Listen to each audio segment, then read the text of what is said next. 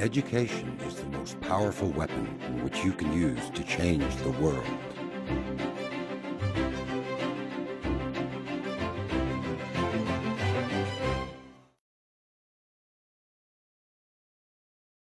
那么上面一段呢，我们介绍到私募股权在投资江湖中间的地位。那么接下来我们给大家介绍一下，呃，私募股权在融资的这个领域里边它所处的地位。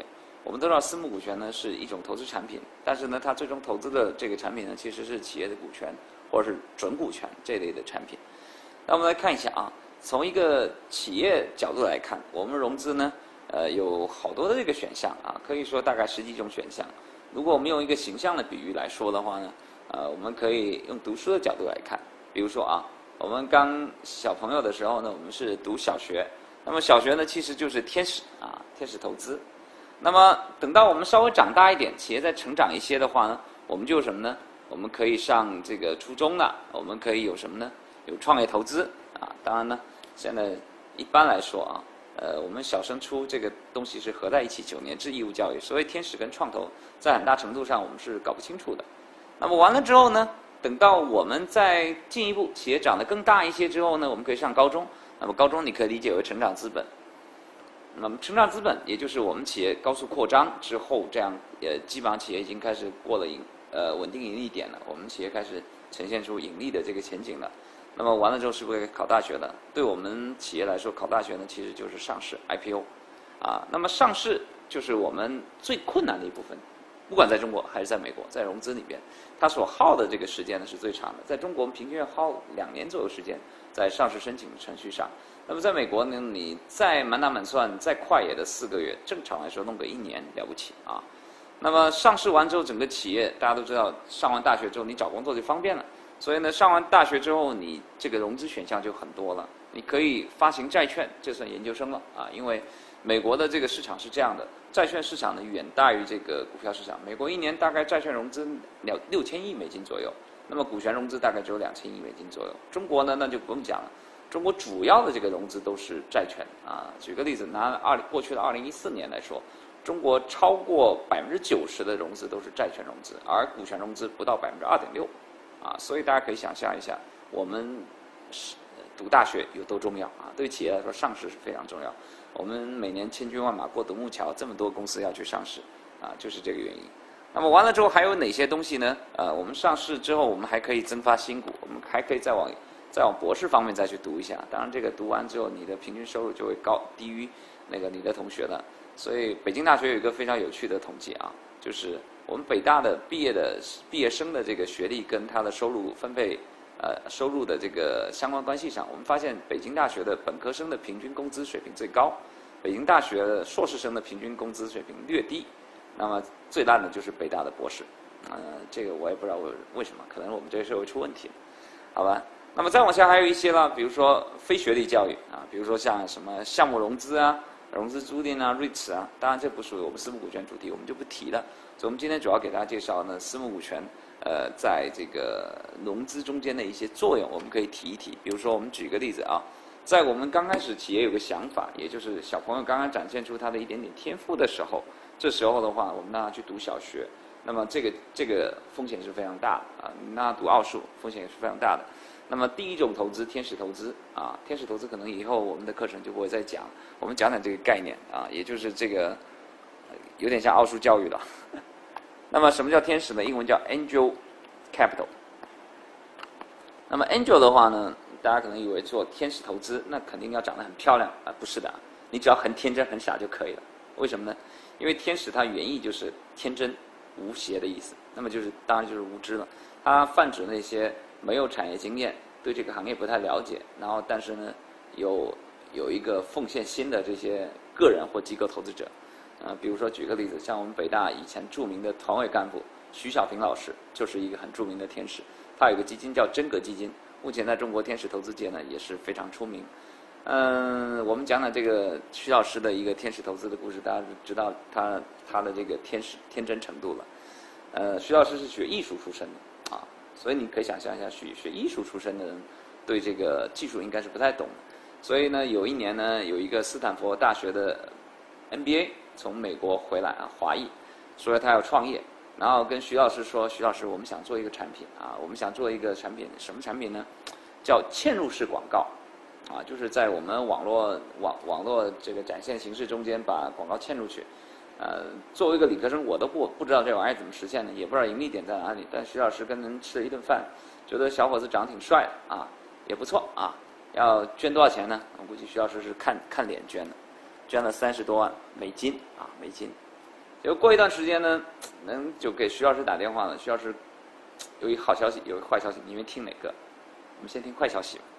啊，坏消息就是您投了我们的嵌入式广告已经倒了，啊，倒了，那倒了就倒了吧，反正就捐了嘛，天使投资嘛。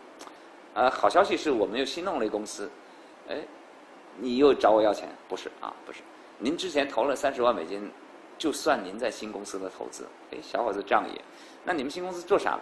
化妆品直销。哦，化妆品直销，这跨度太大了吧？嵌入式广告到电商哎，哎不管了，反正那个又不用再投钱，咱们就持续关注就行了。后来这公司上市了，这公司叫什么名字呢？叫聚美优品，好吧？我们汇丰商学院的这个呃魏伟老师也是聚美的天使之一啊。据我所知，魏老师对化妆品一点兴趣都没有，但他一样投了，所以这是天使的意思啊。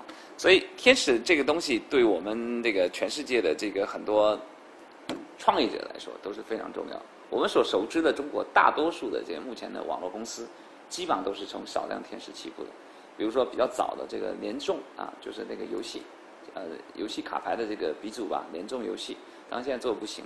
最早创业的时候是跟那个我们江民软件的王江民先生借了五十万。那么像周鸿祎创立三六零安全卫士的时候，有个天使投资投了他一百万美金。